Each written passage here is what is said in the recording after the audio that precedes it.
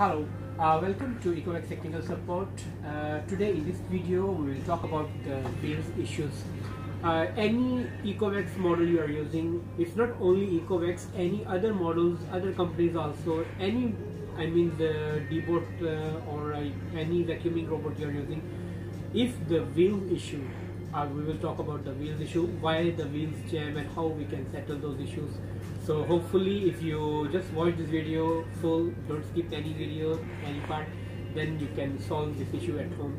But uh, sometime uh, I let you know that when we use the WD-40 spray so it won't solve the issue permanently. So sometime we have to contact with the service center also.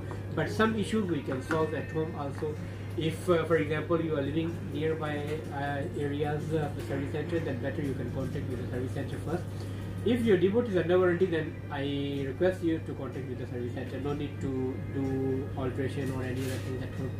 So if it's over warranty and you are living quite far away from the service centers then you can do this uh, alterations or whatever the mechanical the technical works at home no problem. So first uh, I think I let you know sometime uh, this one is the wheel the customer using. This one is the one year plus already they are using so in this one what happened? Customer sent this uh, to me that uh, it's uh, just turning in circles.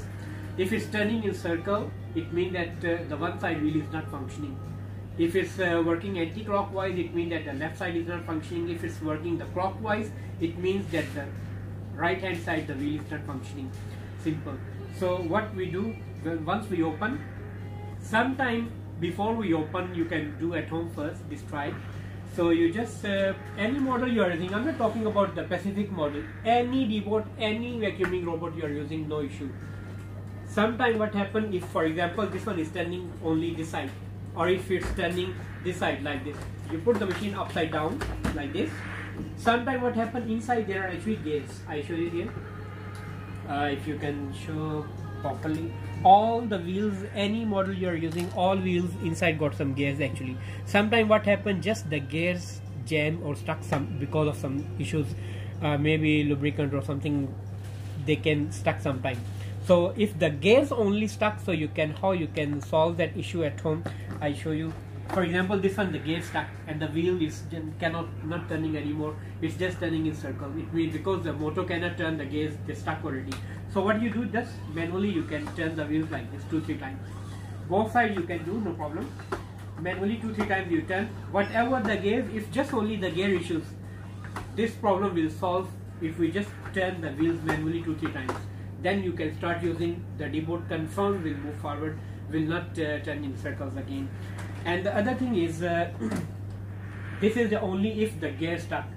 But in this model it's not the gear stuck. When I open the Deebot so I see uh, because uh, this one whenever there is a sensor here so when the Deebot uh, there's up and down go some carpet go up like this. So every time the sensor the wheel of course they turn like this. So because of uh, one year plus the, they are using already this one so they up and down up and down. So now this wire I show you here there are two wires negative and positive. So negative is still okay no problem. The positive wire actually just broken from here. That's all. Nothing else. The wheel is okay. The gears are okay. No problem with the gear. Motor is okay. Nothing wrong with the motor. Sensor is okay. The counter sensor is okay. Nothing wrong with the counter sensor.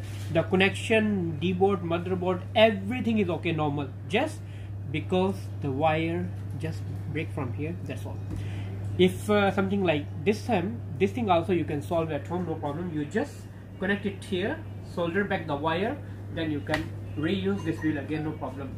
No need to replace the wheel.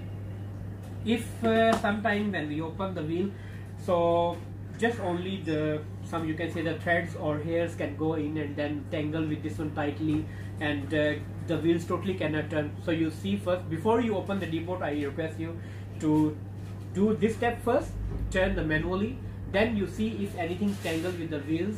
So you just remove those threads or whatever the hairs inside. So you just remove see whether no the wheel can uh, turn or not. Sometimes the wheel totally cannot move. If uh, we press harder and still the wheel cannot turn so it's not the gear issue.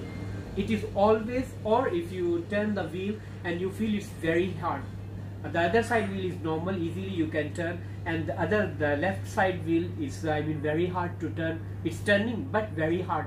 So it's not the gear issue and it's not something tangled with the mm, uh, tire. It's always just because sometimes the motor inside uh, actually this is a motor I show you here any uh, all the actually the motor size and the capacity is, of course all is different no problem. But I just uh, giving you a demonstration how we uh, how I test and how sometimes we can settle at home also. So this one is a motor here. So sometimes the gear actually inside there, there is a small armature inside the motor and touching with the magnet. Sometimes because of the carb uh, the black carb or whatever the powder stick there and it became jump harder. If the motor this one you see is very hard jam it's not smooth. It should turn when I turn this so it should turn very fast but it's quite hard. So what I do this is actually the one thing I let you know. If you are using uh, this method at home this is not the permanent solution you this is I mean for temporary you can settle this one issue but this is not the permanent issue. Sometime uh, after maybe one week two weeks later again you have to face this problem. Because this is not the permanent issue this thing confirm I let you know so what we do if the motor jam only you can do this one at home. So this one is the motor is slightly jammed. So I just spray the WD-40 spray here this one here at the sides. Like this normally I do. Two three times I just do the service and then you just turn it harder. You can turn two three times. No I show you here before that was very hard. Now I turn this motor and it's turning easily easily can turn. Now it became normal again. So after that we just clean whatever the WD-40 spray outside here. Because the WD-40 spray will not uh, damage your uh, wiring inside or whatever the board connections inside. So it doesn't matter that you are using the WD-40 spray. Whatever just outside you just clean so the dust won't stick uh, on this uh, spray because if the dust stick there then it will become jam again. So that's why I say uh, that it's not the permanent solution but we can solve this issue like this. So now the motor became okay. So after I fixed this one so in this motor also was actually the same issue. And I did this one and uh, I just do the WD-40 spray inside and after that I refix this uh, one. And uh, the gears everything is okay no problem here. So if you want to remove the motor so inside there are only just two screw here these two screw if we remove we can remove this motor and then we can do this uh, modification at home no problem. So after that we turn. Normal no problem. Before that when i uh, received this item actually from the customer so the Deebot uh, the wheel was very jam. I mean uh, jam mean that the one side was normal easily can turn and the other side was uh, very hard to turn like this. So now it's okay you see something same like this one. Before that when i received this one so it was jammed so after we do the wd-40 spray no it became normal like this. So if you fix it back so hopefully your Deebot will be okay no problem. So there are some others uh, i mean the reason also why if uh, for example the motor is okay gears are okay and everything is normal the wire also is not broken and still your Deebot is turning or sometime what happened your Deebot move very fast like this. From one side uh, for example you run here so it should move like this or it should move like this very slowly. But it turns very fast like this or turn this side very fast. If your Deebot is turning to the right side like this very fast it means that the right side counter sensor got some problem. Maybe the counter sensor need to replace or maybe sometime I show you here in this model uh, actually all the Deebots got different types of counter sensors. In this model I show you is this one. Uh, you can see here there is a gear here. This one is counter this one actually we use in the sensor and this one is a counter sensor. And this one between the counter sensor this thing we are using to count the rounds you see. When I turn the wheel so it turns. Sometime what happened this one became loosened. If this one became loosened so the counter sensor won't work properly and uh, it cannot sense it it will not give you the exact uh, uh, I mean the turning uh, rounds uh, to the motherboard and sometimes the Deebot will turn from one side very fast. So this is the only reason why the Deebot turn to left or right side. If it's turning to right side very fast it means that your left side uh, and counter sensor got some issues. Need to solve that one you need to check. How you can check this one? Especially in uh, slim 2 model or uh, something similar like that one da60 or slim 2 or uh, some similar to these models you can check that sometimes just the, this sensor actually became loose and how we can solve? Just remove this one. You can put something like uh, thread you can use put one or single layer of thread and then make it tighten and then you can put it back. So when you turn this one you can check whether this one is moving or not.